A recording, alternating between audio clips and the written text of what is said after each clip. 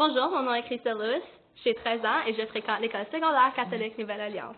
Aujourd'hui, je vais vous présenter la chanson Je, je t'appartiens de Jason Raz.